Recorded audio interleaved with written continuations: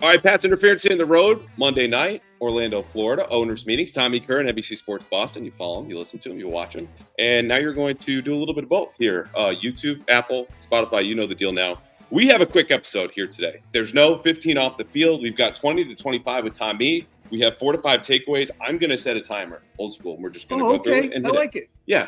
Uh, but we were just talking off air, initial impressions, because Jerod talks today. He talked for 30 minutes, Mhm. and there was a lot there. There was there was a lot of meat on the bone, and I think that a couple of the things that I would circle back to and what I wrote about was the fact that he underscored the backbeat to his comments were oftentimes, "This is going to be a while. Mhm. You know, this is going to take some time. You need to have patience with us. I don't know how I'm going to do as a head coach. I don't know how Eliot's going to do as a GM. Hopefully, well. Um, everything's about drafting, developing." Um, playing the board or selecting a player. There's very few definitive things because there is so much TBD. And as you know, Jerod pointed out, it is his first time Yes. around. It's his first time as a head coach. So that's where they are. We could talk forever about whether that's where they should be Mhm. and whether they should have opened up a search, but this is where they are. This is what they did. There is a learning curve. There is a complete dearth of talent on the team. In case you missed it, yeah. So, you know, as I said in what I wrote, Rome wasn't built in a day, and it also wasn't crumbled in a day. It took some time for the Patriots to get to this point. It's going to take some time for them to get out, but they're also, to use another geographical reference, Siberia. And that was my other takeaway is that the Patriots are acknowledging that they are a little bit radioactive for players who might be looking around about where they want to go. Mm. And Calvin Ridley's a good example, Andrew. I talked to um, Well, let's start the clock because you're hitting on my first takeaway, which has three sub bullet points. there's so many little logistical things here that I didn't understand. Go. That's okay. So he had a game plan going in here, right? Like, and we could go in and parse words. Did they tip his hand about the quarterback plan in the draft at number three? And we'll get to that in a bit. I think it's best to understand, like rewatching a game, what was their game plan going in, right? Like that's their mindset. You understand why they said the things after, called the plays they did. When you understand where they started from, then you figure out how they ended up where they did. In my mind, he had three things he wanted to get across. One of which you said already. This is a long rebuild, right? And they need players who are magnets. That's a quote. Have some gravity to them. The guys want to come play with them. Um, they're open to offers at number three. And the Krafts, which he volunteered five times, have their full have given their full support in spending, in tools, and investment. No one asked about this stuff, but was something clearly Jerod wanted to get across. Yeah, and I think that still a five-time mention in 30 minutes doesn't outweigh the number of mentions from two to six on Felger and Maz or on, um, you know, Jones and Mego. Yeah. From two to six, or any of the other radio shows, or any of our television shows on um, NBC Sports Boston. Any that you disagree with though? Like he wanted to get those across. No. Did I did I miss a big one? No, I think he Okay. those were definite talking points. But I also think he was a game plan coach today in that he understands they're going to try and take me in different directions. I'm going to react to that. And I think as well as I know him, he is precise and likes to plan, but he also likes to be reactive. Yeah. He doesn't want to overplan and wants to be able to be um, organic. And I think that, you know, he did that to an extent as well. But what I did think was good was he didn't get himself out in the ocean and keep talking and then get himself overboard. He had succinct answers, not deep on the what the details were, but he had succinct answers that he closed the book on and moved to the next thing. But a lot of the answers were TBD. We're not sure. Yeah. Could do this, could do that. And I don't blame him because that's how you have to be when you are dealing with, in some ways, Andrew, a blank slate. So, and let that brings us to number three, right? Because we're talking about the quarterbacks. Tell us about Drake Maye. What do you think? No ceiling, right? But also be mindful of the floor, not as much in Jayden Daniels. Oh, and we are considering JJ McCarthy, who's one of five, including Caleb Williams and Mystery Man, probably Bo Nix. Uh, Probably Bo Nix. I think so. They haven't talked to Penix at all. I don't, I don't think they've even like looked at tape on the, the Oh, would reporting on that this. would be. They've obviously watched this tape, but the point I is they've not visited with him or met Penix, him. I, that would be my He's a better choice. But I think as far as the people that they've shown up at pro days, Okay. the combine visits, et cetera, it's been more Nix than Penix. Um, but the point being, what I liked there was unlike when he boxed himself into a corner, we're going to burn some cash. We're going to take a player at a premium position. You put the puzzle pieces together, as he told Steve Burton on his introductory press conference. This was no, all options are on the table, which he told you and Mike Giardi and Mike Reiss. yesterday, Sunday when we all got in, but I think was smart because a even if you know you're taking a quarterback, just invite the Godfather offer to show up your doorstep anyway. Like, oh, we might do this. We like a lot of quarterbacks. We're we're open for business. Whereas had he been acting in the same way he had earlier, you know, it's not in the best interest of the team publicly to limit your options, right? You want to have everything on the table and let people know that's how you feel, whether you do or don't. Yeah, and I think that again, allowing for who he is, and we can have conversations about whether he was ready necessarily for everything that's coming at him. He's seeing 90 mile an hour pitching when he's not used to it. He's used to quick slants and zooms. How fast is quick slants? I mean, we're throwing 73. Yeah. So like batting batting cages, like responsibility wise, yeah, it's yeah, he's literally right. in terms of responsibility, just show up and, and be amusing and give us some details and, right. and information that we don't know. But now he's in charge of a six billion dollar team. So, you know, the burn some cash, I, I continue to, even if I didn't know the guy, I'd say, you know, I know, and everybody in the market knows the way in which that burn some cash, those three words were delivered were tongue in cheek as he stood up, joking as, hey, let's be personable in the interview. And he didn't understand that they were going to be used as a cudgel. I think it's disingenuous to continue to use them as a cudgel, mm-hmm. but it ain't going away. That's me. I'm not going to mention the burn some cash stuff because I know the guy was joking. Um, he did say we're going to spend. He's continued to say we're going to spend, but burn some cash is going to be affixed to his epitaph until the Patriots succeed and that's that's not even all his fault though right? Like he he made a mistake but it's amplified by the history and the lack of spending over the last 10 years which is not to assign blame bill or kraft or even get into that conversation. It's just saying the situation he stepped into was more sensitive when it came to spending. And then when he delivers the news everyone's wanted to hear for so long and then they're not following through. Yeah because he's not attuned to the conversation right. in the market because he's been a linebackers coach slash de facto defensive coordinator. So he's not listening to the conversation about when are they going to spend. Yeah. And again, the, the conversation has, to me, so drastically pivoted to the Krafts are the ones who don't spend from Bill having been the one right. that it is stupefying. I mean, how many times can they say, we never told Bill he couldn't spend? What they had in Bill was a head coach who might have been tighter with a buck than they are, yeah. which was a dream come friggin' true. I mean, Bill wasn't not paying DeAndre Hopkins because Robert Kraft didn't say not to. He wasn't paying DeAndre Hopkins because he didn't want to pay um, a wide receiver who only practiced sometimes and he thought might be over the hill. And he thought he was good enough to play without him. They had DeVante Parker. Thought they, they could do fine with $22.5 million against the cap for Tom Brady. Tom, this is all we can do in 2020. We're going to move on from a guy who can go and walk in eight months later and win a Super Bowl or whatever it was in Tampa Bay. But we don't want you because 22 and a half million on the cap's as high as we're going. Yeah. All right. Time's up. Next point. And this uh, brings us to a place where you are on one side of the bridge and I'm on the other. Mm-hmm. The situation, whether to draft a quarterback. But it's not so much where you stand on that bridge. It's that Jerod Mayo says a quarterback can can walk across here because quote he feels it's hundred percent ready the roster and the staff to support a rookie quarterback his comments after that mostly pointed to the staff, and he's it's not lost on him that like their their offensive roster is what it is because when he was then asked, "Hey, who's going to start at left tackle?" He's like, uh, "Well, you know, we uh, signed uh, Chuks over there. Now we'll kind of see. He might be on one end, he might be right tackle, and like that's again the roster he has." Um, but it's interesting to me that he was confident we can address quarterback, receiver, and left tackle in the draft as something we have to do in the first place. But also, we're confident enough to bring that quarterback into what obviously is a situation. I don't think anyone else is saying yeah, they're ready to bring in a kid. I don't think any. I think most people are lobbying for them to bring in a kid. So you have to be ready. Yeah. Well, ready how then? I mean, the roster. Well, they're not going to sit there and say they're. I'm telling them. My opinion is they are not ready to bring in a quarterback because they're so bad. They're going to have to sit them. They're not going to have the time to bring them up to speed. They're going to be behind a learning curve. And as a result, you're going to waste the one year of his rookie contract. We can go further on on all that, but people think the Patriots are ready, and I don't see how Jerod Mayo could sit at a conference press conference today and say we're not ready to support a quarterback. He has to say that. Well, what he could say is a version of what Bill often said, right? And this isn't to. Are you ready Bill. to support a quarterback?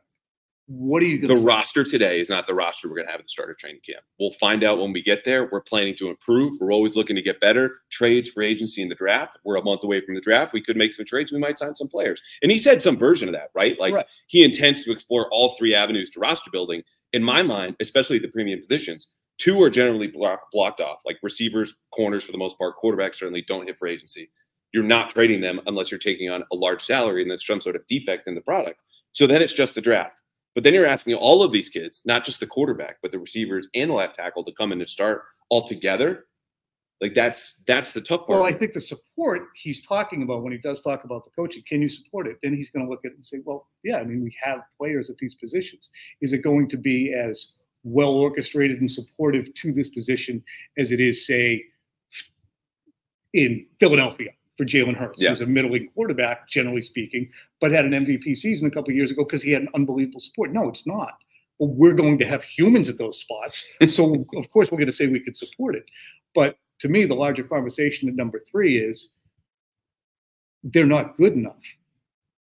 And the only way to get good enough is to use this once in a lifetime or once in a generation, more, ac- more accurately, um, third overall pick to turn that into multiple picks, which would be, say, for instance, with Minnesota, you get 11, you get your tackle, you get 23, you get your wide receiver.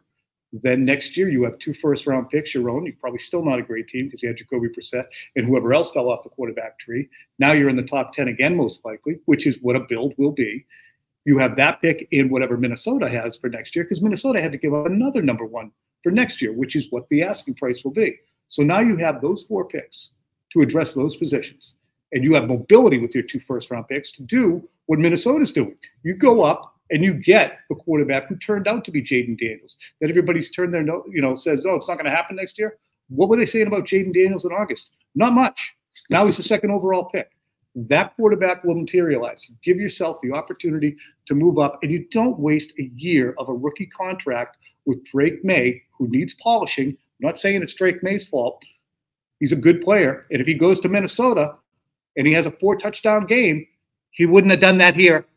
It's a new era, not just for the Patriots, but for the Pats Interference Podcast. Brought to you now by Prize Picks, the largest daily fantasy sports platform in America. I'm making player picks, watching the Celtics, points, rebounds, and I get to test my skills like you can on Prize Picks this season because it's the most exciting way to play daily fantasy sports. If you have the skills, you can turn 10 bucks into 250 bucks with just a few taps. And then here's the best part quick withdrawals, easy gameplay, an enormous selection of players and stat types, which all make Prize Picks the number one daily fantasy sports app, plus a review policy, which means you get your money back in case of injury, the only DFS platform to offer an insurance policy. Again, Prize Picks has been a ton of fun with the Celtics. You can also go with the Bruins, any number of different sports, games, players, plays, and options. So right now, go to prizepicks.com slash CLNS and use code CLNS for a first deposit match up to $100. Again, that's prizepicks.com slash CLNS and use code CLNS for a first deposit match up to $100. Prize Picks, pick more, pick less. It's that easy. Well, let's go back to Mayo because it's interesting. Your pal of mine, Mike Giardi, texted me, was like, Hey, what do you what was your what was your vibe today? I don't think Mike knows how to use the word vibe. What was your read on Mayo today as far as the quarterbacks go? And I I said, I think he said everything that you would want to say if you're trying to induce a Godfather offer, understanding where I come from. And that's a very compelling case. You have me moving a little bit closer to your side on this. I would just say you're not in this spot again. There's an excellent quarterback class, like that we were saying at the end of 2022. Caleb Williams, Drake may take him. Do you think whether Jerod and Eliot, and Eliot's really making the call, if we're being honest, tip their hand in any kind of way as to being closer to the case you're making or the, the way I feel? I think they're edging closer to where I am. And I think okay. that I don't think that I haven't been told that, and I have got no indications they are, but I think the default the default continues to be quarterback. Yeah.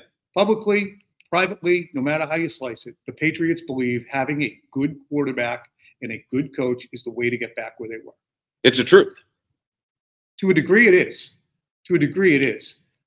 The truth, as I read Andrew's well-researched and well-done article that was uh, on the in the Herald the other day, is people don't understand where franchise quarterbacks come from because, as, as Andrew wrote, you know, you have to find a top five quarterback to get there. And then Andrew He's used, waiting for this. used as examples of franchise quarterbacks Patrick Mahomes, Lamar Jackson, and I can't remember the other one. Josh. Allen, Joe Josh Burrow. Allen. And I'm like, hey, you didn't mention Joe Burrow in this sentence. And I'm like, hey, that's the 32nd overall pick, the tenth overall pick and the seventh overall pick going to a playoff team. Bro is definitely in there because I cited T. okay, Higgins be later. that So as we, it may, we got don't three, deflect me on that. three top ten His picks in there. You said top five in the story. Okay. You said you don't find them unless you go top five. And none of the guys he mentioned, Jackson, Mahomes, or Josh Allen, were top five picks. And I'm like, Andrew, you're making my point. Listen, I wrote a story which was even more compelling than his. I don't care what the Oh. time clock says. well, hold on, because I, I My story going. was even more compelling. You go back to 1998. You know how many quarterbacks have won a Super Bowl who were taken on the top three? Two, Eli and Peyton. So anybody named Manning taken on the top three of the draft, they don't win Super Bowls. Stafford, you say? Well, he didn't win it with the team that drafted him. So he's out. Go- oh now he's out. well, he's definitely out. He didn't win it with the team. The Patriots aren't drafting guy number three to go win a Super Bowl with Jacksonville. They would be drafting him, as the Lions did, to win a Super Bowl with them in Stafford. So it doesn't happen. You are just as likely because your situation and your team sucks to ruin the guy as you are to get benefit from him. So you might get Cam Newton, you might get Matt Ryan, you might get, oh, you name it. Uh, look, Rex, Rex Grossman was a first round pick. He made it to a Super Bowl. But Colin Kaepernick made it to a Super Bowl. He was a second round pick. Here's the thing. Russell I, Wilson I won think what we're getting at here is as a bar. situation matters more than top three pick. we could quibble about three, five, or ten. The point is the only reliable place on planet Earth, which I've said here too many times. Drink if you're listening at home. It is in that top ten. No, it isn't. It is. okay, It is. 10. It's Now you're 10. 10. Right, but here's the thing. Well, This then is- where are this the is- top 10 quarterbacks who've won Super Bowls? If the bar is to win a Super Bowl, there are only what 40, high 30 number of quarterbacks who've ever done that. I don't think the goal here, obviously, it's Super Bowl, but it's regular sustained So. CJ Stroud, you're good with? Because that's, you know, that's gonna Am I good with be- CJ Stroud? Absolutely. Okay, Did you but- see but- him play this you- year? Yeah, but understand that CJ Stroud or Justin Herbert, who people are excited about, Yes, Justin be. Herbert's he's he's uh, one and one in the playoffs or oh and one. No, Trevor Lawrence is one and one in the playoffs, first overall pick. Um, generally speaking, your team sucks, and even if it doesn't suck, which Justin Herbert's doesn't, and he was taken sixth overall, he was littered. His offense was with talented offensive players.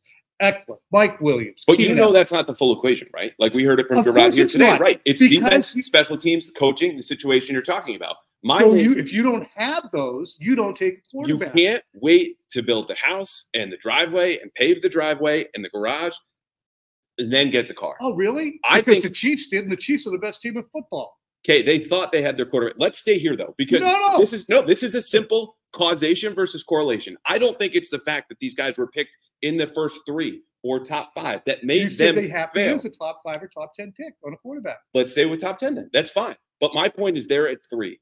And your best chance of getting a quarterback is to stay there and take one. And if you do not fail him, which is also partly their choice, and I think they failed in the process of supporting him, right? Not getting Calvin Ridley, they could execute trades later on. It's not simply that once you were picked at three or five or whatever, you're fated then to never win a Super Bowl. That's the correlation part. The causation obviously is the situation. I'm saying you need to get him in now. You can protect him, let Jacoby take the hits in the meantime, which would stunt his development. But Drake Maye and Caleb Williams have been known for almost two years to be guys that you can build a franchise around, right? And we've seen the impact, Well, that's what people think. right? But that's as sure that's as close as you can get at this point. And so I think it's So unless you have, I would say Jayden Daniels or Caleb Williams, I would bet on because they are tides that can lift all boats. I would be more um, amenable to either of those guys if the Patriots had an opportunity to take them. oh, because you're out on Maye, yeah. Not, out on Maye is an overstatement. It's a 21 year old kid who has a lot of sloppy techniques. I don't think when I watched him this past year, and I know it was Well, I know we talked about paint by the phone. numbers, paint Yeah. by numbers operation for him. He's just kind of doesn't do a lot of pre-snap reading, and that's the way their offense was. But you're going to ask a lot of him, and you're going to put him in a situation similar to, not identical to, similar to Mac Jones, where you're going to say, play well, be smart, make good decisions, which Mayo said was the number one thing, but do it when it's a jailbreak. And that's how you retard the progress of a player. Again, oh, Jalen Hurts. Why is Jalen Hurts good? Because he's got AJ Brown, DeVonta Smith. Well, he, He's he got an offensive line. he's also got a good skill set. Like this is giving. uh, uh, I think He's two- not nearly as accurate as Mac Jones. I think he is. Okay, you're wrong, but No, it's, it's in the numbers. We can go to adjusted completion percentage, average depth of target, go all the way down. But people don't want to care about Mac Jones but- or hear but- about them. okay, but I'm Hurts. saying Jalen Hurts is an okay quarterback. I'd like he's Top top, he's a top dozen. Perfect. Top dozen guy. First time we've agreed on a number tonight. Um, so fine, but to get top dozen performance or even runner-up MVP performance from him, which is what he was, if you surround him with so much, Here's the thing. boom, Here- here's you turbocharge him. They've already screwed up in free agency. Right. So once that happens, you have to start. oh, okay, we didn't get a wide receiver. They have to start moving to finding ways to get receivers. So that I'm saying that the free agency fails moved them even further away from being supportive enough for a, a a top five, top three pick. the most salient point is this on my end. If not now, when? I'm not willing to bet on the most important part of a franchise over the coach, over the owner, over everything. This is the number one option in the NBA where you know, same thing, top 10 is the Yeah. most reliable only place on planet Earth to find an impact One number one on a championship team. But the point stands nonetheless the power of the quarterback. I'm not waiting on a guy that I know I can get, whether it's Jayden Daniels or Drake Maye, and multiple people in their front office believe in those guys. Sources have told my good colleague Doug Kyed to, go- to just wait and think, if not now, because it's not going to be free agency, it's not going to be via trade. You're saying Jayden Daniels will just pop up next year. And that happened with Joe Burrow four years ago. I don't know how many quarterbacks besides him and maybe Jayden Daniels who could be a failure, right? That we just count on to pop up because you're already locking him in as a success. And I think to wait for the most important part, as opposed to lock that in first, then build around him, develop him in a way that you support. You have Jacoby in the meantime to take those hits. It's one year of a rookie contract versus one year wasted for everyone else on the roster because you just weren't ready to roll it out with the kid. I know. I, you're not going to. There's no guarantee to trade back up into three, and if you do, you have two extra first round picks. You're just giving them back up to move back up, and that's it. You don't know. You're being sarcastic and mounting of a prick right now. because because you know, say for instance, you you take a chance on a Trey Lance, and he doesn't work out, and you take a chance on a Carson Wentz, he doesn't work. Well, where are you then? You're in the Super Bowl because the rest of your team is so good that you can get to the Super Bowl with Jalen Hurts or Brock Purdy or Jimmy Garoppolo because your team is that good. So you built. your There's no guarantee that Eliot Wolf is going to be the same GM as Howie Roseman, the best GM in football, going on 10 to 12 points, sense. or John Lynch. Not at all. John Lynch was a player. God bless him. He's done a great job, but John Lynch was nobody's idea of the next coming of. And where is your offensive line? Are you suddenly going to fill You up those four spots? Who's your offensive coordinator? You're talking about Kyle. Shanahan. You're talking about uh, Doug Pederson for a time, Nick You're Sirianni. too frantic for a guy who's on solid ground. I, I, think you know your ground is shaking. This is this is bad nose uh, news nose for uh, BNC later. this is. I mean, oh, it's the missus, but I'm going to ask. Actually, we have to wait. That's okay. Yeah. We'll give her five. We'll give Um, five more minutes. I mean, I've just made airtight point after airtight point against you. You have not though. Like the the ultimate outliers You're are the Niners about the Eagles. I mean, it's only two of them. I mean, let's go to Kansas City. That's a team that was picking 28th overall. that moved up to get a I know the what they 10. did. I'm explaining it to people because that's the point. You wait for the quarterback to fall off the quarterback tree, and the rest of the team will take care of it. That's how it works. It doesn't work by taking Sam Darnold. It doesn't work by taking Zach Wilson. It doesn't work by taking Trey Lance or Mac Jones or Justin Fields or anybody else. And you're so scared of just sitting him for a year when you have a fifth Oh, year option to pick no, up down a, the road. It's a waste because it's the most expensive position. I would rather pick up my fifth year option on the wideout that I take this year, Rome Odunze or whoever else. He'll be gone at 11 most likely, but um, I would rather pick up the fifth year option on him and keep him around for Quinn Ewers if he turns into the next genius quarterback. So you're that that sure that you're getting a potential franchise quarterback, of which they may be no none next year. you don't year. need a quote unquote franchise quarterback. You make them by the rest of the franchise being really good. this is a guy Russell who Wilson. covered Tom Brady for 20 years. Yeah, and said it's the rest of the team that because powers because them, not the I- quarterback. because when I watched Tom Brady, I had spent my first four years on the beat watching a number one overall pick get worse and worse and worse. And then I watched the sixth round pick come in and lift all boats, as Brady did, despite the resistance to the notion that he was good in 2001. That the Patriots. Why are you looking at me like I wasn't 12 like at that time saying that he wasn't good? like it was my fault people are saying he wasn't good. Who? Brady? No, Brady. because you bristled in some way. Well, I'm talking about the last 10 watched years the- that we all watched. But I watched. watched the number one pick. Use Tom Brady as an example. no, we can't. No, the use Tom Brady as- all No, no, American use Tom Brady as an as an example for a team that had a player parachute in and win a Super Bowl immediately Oh, because stop. of the quarterback. Because they, what do you mean stop? You think if Tom Brady stayed in New England, he was winning a Super Bowl in twenty in twenty twenty? so we just went from Do you think 2001 to 2020. No, I'm using no, an no, no, no. example of a player going to a situation that causes the situation to improve exponentially. And it's a veteran player going to a good situation. Tampa won a Super Bowl because they had an infrastructure in place that only needed Brady. The Patriots are not in a situation where all they That's- need is that's- Drake Maye. That's not. I, I agree. This I is agree. this is how it works. But I But swear to God, I'm that's not- the point that you're making for me is that that was a seven and nine, eight and eighteen. And what changed it was not the infrastructure, it wasn't the talent already there. It, was wasn't the, Mike Evans. it was the quarterback who came and powered the rest of it. So they should have taken Jameis Winston. Was Jameis the pick? Yeah, Jameis. Was Jameis was still there. How'd they do with Jameis? They took him number one. the How'd they idea do with Jameis? They took him number one. we one. all know how Jameis Winston was. To me, that's not evidence that if you were taken in the top three, you're fated so to he didn't develop. Obviously, you're not going into What a happened great with the Rams and situation. Sam Bradford taking number one overall? They won. How about any quarterback aside from Dak Prescott or anyone Russell after the first round? Russell Wilson won a, won a Super Bowl. Went to two. 2012? Went to two of them. Yeah, yeah, who was he taking? Second round. 2012. Second and then round guy? Dak in 2016. Second round. If you like those odds better than the guys in the top 10, that's that's that's good. you build your team, you drop in a Brock Purdy and do it with a straight face. We Build were- the we- team. We were talking about Jerod Mayo. We went completely off the rails. I'm trying to help you. It's not happening.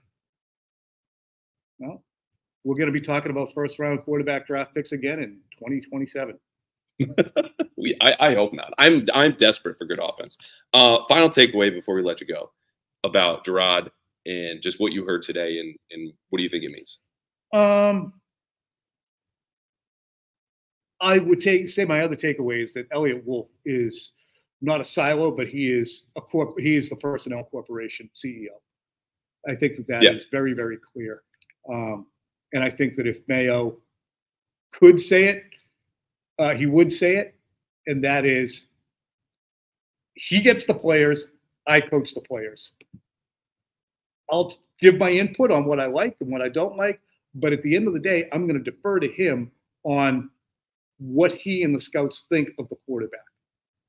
If they think, for all this conversation again, if they think that Drake Maye can be worked with and Alex Van Pelt thinks he can be worked with and Ben McAdoo thinks that, I think they do.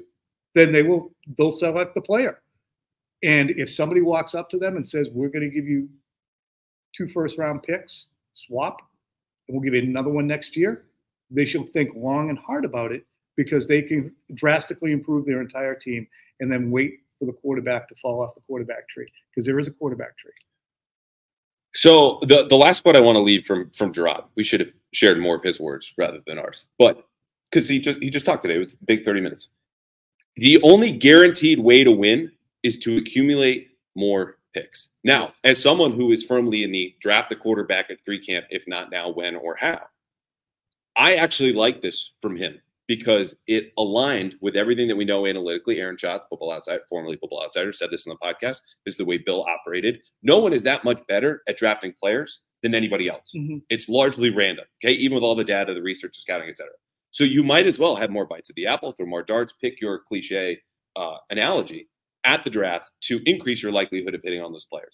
I'm glad to hear that from Jerod, understanding at least personally some of the other things he said are not necessarily aligned analytically, which I'm not strictly follow the numbers guy, but use the tools if you have them and you know how to use them. I, I, I appreciated him saying that uh, because I think it's a smarter way to roster build. I one million percent agree. I thought you might. I mean, the logic, the logic behind drafting a quarterback at number three, regardless, and that tends, it's, I feel like it's tending that way because the argument is, when are you going to be up there again? The argument for doing that is is somewhat devoid of just plain logic.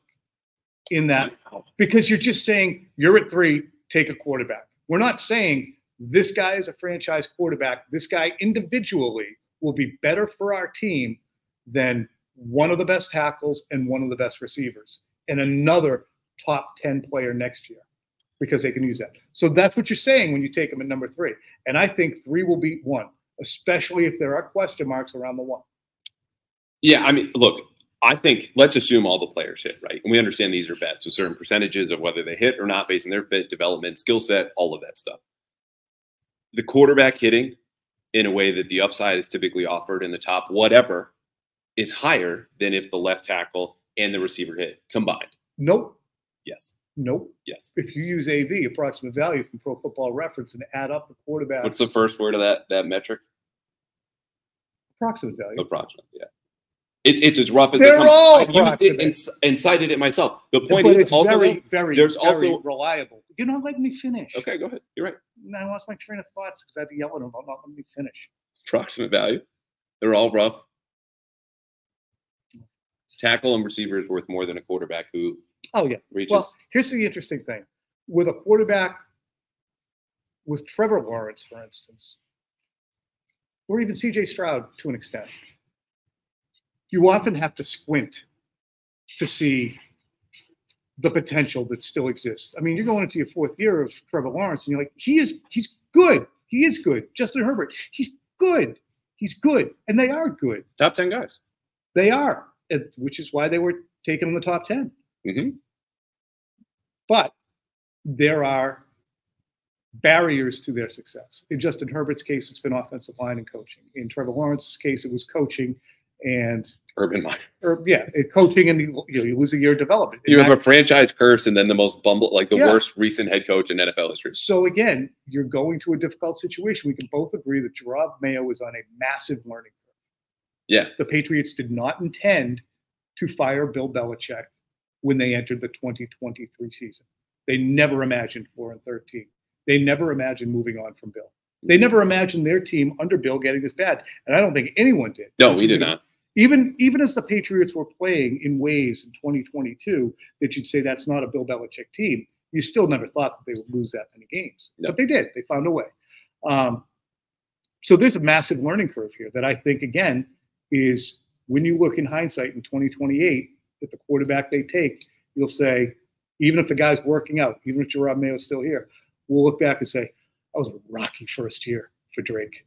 Mm. God bless him. He was able to get through it. Good thing he had that mettle and the grit and the leadership that are arguing for his being selected right now. And that's all that Eliot and Jerod are talking about, right? Like Yep. that, that that moxie, that leadership, that toughness. It was the first thing Eliot said of all the these best- guys. that might be the best thing that helps the Patriots selecting at three is that it seems like the best leaders and most vocal leaders are McCarthy and Met. Daniels is a little more quiet. Caleb Williams is a little bit divisive, seemingly, So this, we've seen. Yeah. So this might argue more. These are two players. We talk about magnets. They want to be here. I don't think Jayden Daniels necessarily wants to be here. I don't think so either. Although that sounded very close to maggots. Magnets. Guys who bring Oh, yeah. players. So uh, steep learning curve. Agree. Uh, less frantic now. Feeling better. Feet on the ground. I think we need a beer. Cocktail party a little bit later here at the JW. Okay. Yeah. Okay. I have to work first. Sorry if I yelled Early at your guy. Sorry if I yelled at your host. No, it's okay. It makes more fun. Some of the sickos like that, I think, a little bit more. Um, yeah, lots to learn from Jerod today. I thought it was good. The learning curve is edit, evident. I think he is learning. I learned. Already? I taught the guy too, didn't I? You did. You taught a lot of people. I put myself in your quarterback tree. Ju- Just TV wait by the tree; it will fall. The quarterback will fall out. It might be a Purdy. It might be a Hurts. I love all of these anecdotal outliers. He's Tommy Kern. I'm Andrew Callahan. We are in the basement of a JW Marriott and a conference room we should no longer be, so we are going to leave. Thank you for listening. I'll be back later this week. The Ringers, Danny Kelly. The Ringers, Danny Heifetz, a three-person draft roundtable. We are going to talk some quarterbacks later this week.